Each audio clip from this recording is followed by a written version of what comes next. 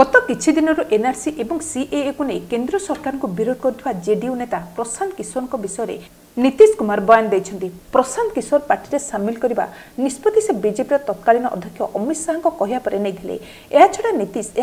কিন্তু যে যার যে পর্যন্ত ইচ্ছা আছে সে সে পর্যন্ত দলরে রহবে যে পর্যন্ত যার ইচ্ছা হব সে পার্টিরে রহব ইচ্ছা ন রহলে চালিযোগ ଆମ ପାର୍ଟି ଅଲଗା ପ୍ରକାର ଦଳ ଅଟେ ଏବଂ ସବୁ ସାଧାରଣ ଲୋକ ଅଛନ୍ତି ଏହା କୌଣସି ବଡ଼ ଲୋକଙ୍କର ଦଳ ନୁହେଁ କିନ୍ତୁ ଆମେ ସମସ୍ତଙ୍କୁ ସମ୍ମାନ କରୁଛୁ କିନ୍ତୁ ଏହିସବୁ ସହ ଆମ ଦଳର କୌଣସି ପ୍ରକାର ସମ୍ପର୍କ ନାହିଁ